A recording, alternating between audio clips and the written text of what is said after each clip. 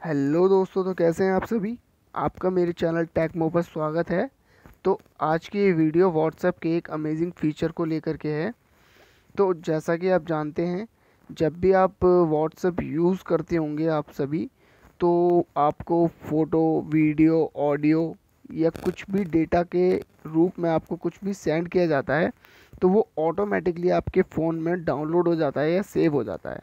अगर आप चाहते हैं कि यह कोई भी चीज़ आपके अकॉर्डिंग डाउनलोड हो, आप जिस पे क्लिक करें, सिर्फ़ वही चीज़ डाउनलोड हो तो उसके लिए व्हाट्सअप के अंदर कुछ फीचर्स दिए गए हैं, जिसे आप सेटिंग में जा कर के अपने अकॉर्डिंग सेट कर सकते हैं। तो उसके लिए हम सबसे पहले क्या करेंगे? व्हाट्सएप पर आप जैसे क्लिक करेंगे तो सबसे पहला आपको इस तरीके का इंटरफेस दिखाई देगा। उसके बाद आपको ये थ्री डॉट पर राइट साइड पर जो कॉर्नर में आपको सबसे ऊपर थ्री डॉट दिखाई दे रहे हैं। इस पर क्लिक कर देंगे। उसके बाद आपको ये सेटिंग के ऑप्शन पे जाना है। फिर आपको स्टोरेज एंड डेटा का ऑप्शन दिखाई दे रहा है। इस पर क्लिक करना है। इस पर आने के बाद आपको मीडिया ऑटो डाउनलोड का ऑप्शन दिखाई दे रहा होगा। इसमें आपको तीन ऑप्शन दिखाई दे रहे होंगे।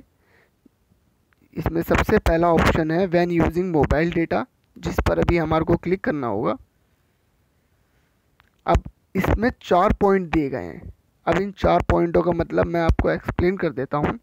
इसमें फ़ोटो ऑडियो वीडियो और डॉक्यूमेंट दिए गए हैं।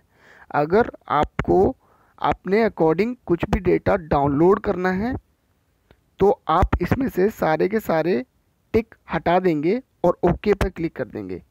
अगर आप चाहते हैं कि ऑटोमेटिकली डाउनलोड हो जाएँ तो जो जो आप चाहते हैं कि डाउनलोड हो ऑटोमेटिकली आप सिर्फ़ उन पर क्लिक कर देंगे और ओके का बटन दबा देंगे। जैसे कि मैं चाहता हूँ कि कोई भी वीडियो अगर मेरे को सेंड की जाए तो वो मैं अपने अकॉर्डिंग डाउनलोड करूँ। मैं चेक करूँ कि वो डाउनलोड करनी है या नहीं। तो इसीलिए मैंने उस पर से टिक हटा दिया है। अब मैं ओके पे क्लिक कर दूँगा तो कुछ भी अगर वीडियो मेरे व्हाट्सएप पर सेंड की जाती है तो जब तक मैं उस वीडियो पर क्लिक नहीं करूँगा, तब तक वह डाउनलोड नहीं होगी। तो ये था मेरा मोबाइल डेटा के अकॉर्डिंग अगर मैं अपना व्हाट्सअप यूज़ करते टाइम अपना डेटा यूज़ कर रहा हूँ फ़ोन का डेटा यूज़ कर रहा हूँ तो ये सारे के सारे सेटिंग्स हो गई है। लेकिन अगर आप वाईफाई यूज़ कर रहे हो तो उसके लिए भी एक ऑप्शन नीचे दिया गया है, ये सेम ऑप्शन जिसके अंदर सेम सेम चार, चारों चीज़ पूछी गई है।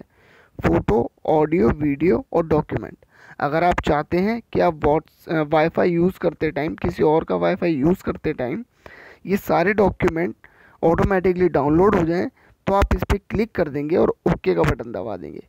अगर आप चाहते हैं कि आप फ़ोन का डेटा यूज़ करते टाइम या वाईफाई का डेटा यूज़ करते टाइम सेम कंडीशन रहे तो जैसा लास्ट में मैंने आपको बताया था कि जो जो आपको सेटिंग्स चाहिए, आप उस पर क्लिक कर सकते हैं। जैसे कि अब मेरे को मैं डॉक्यूमेंट से हटा दूँगा तो इसका मतलब है कि ये सारी की सारी चीज़ें अगर कुछ भी आती है मेरे फ़ोन में तो जब तक मैं इस पर क्लिक नहीं करूँगा, यह डाउनलोड नहीं होगी। तो इस पर अब ओके दबाने के बाद यह सेटिंग मेरे फ़ोन में सेट हो चुकी है। मेरे व्हाट्सएप पर सेट हो चुकी है। अगर अब कोई भी डेटा मेरे व्हाट्सएप पर भेजा जाएगा तो यह मेरी परमिशन के बिना डाउनलोड नहीं होगा। तो इस तरह से आप अपने फ़ोन में जा कर के सेटिंग कर सकते हैं और अपने व्हाट्सएप को और ज़्यादा यूज़फुल बना सकते हैं अपने अकॉर्डिंग ये था व्हाट्सएप का हिडन फीचर तो आज की वीडियो आपको कैसी लगी? कमेंट में ज़रूर बताना। प्लीज़ अगर अच्छी लगी हो तो लाइक, शेयर एंड सब्सक्राइब से ज़रूर कर देना ताकि आने वाली वीडियो की नोटिफिकेशन बेल आपको मिल सके। Thank you for the watching this video